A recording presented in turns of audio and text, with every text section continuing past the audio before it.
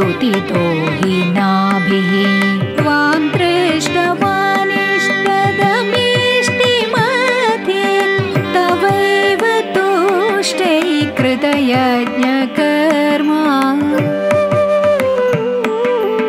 अभीष्टुतस्तत्र मुनीश्वरैस्त्वं राज्ञस्वतुल्यं सुतमर्थ्यमानः।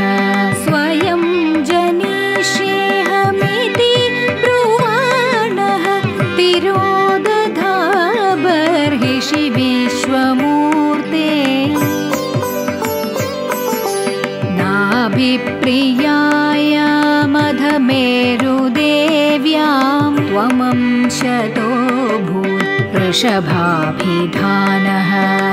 अलोकसामान्य गुणप्रभाव प्रभाविताशेष जनप्रमोदः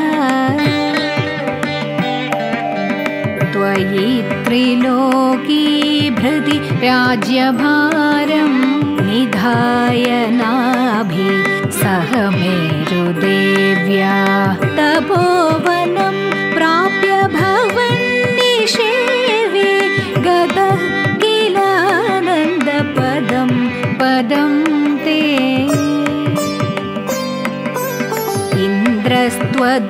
इन्द्रस्त्वदुत्कर्ष कृतादमर्षाद्वर्ष नास्मिन्न जनाभवर्षे यदा तदा त्वं निजयोगशक्त्या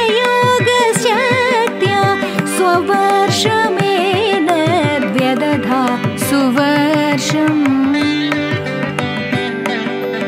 जितेन्द्रदत्तां कमनीं जयन्तीम् ोद्वहन्नात्मरदाशयोऽपि अजीजनस्तत्र शतं तनूजान् येषां क्षितेषु भरतोऽग्रज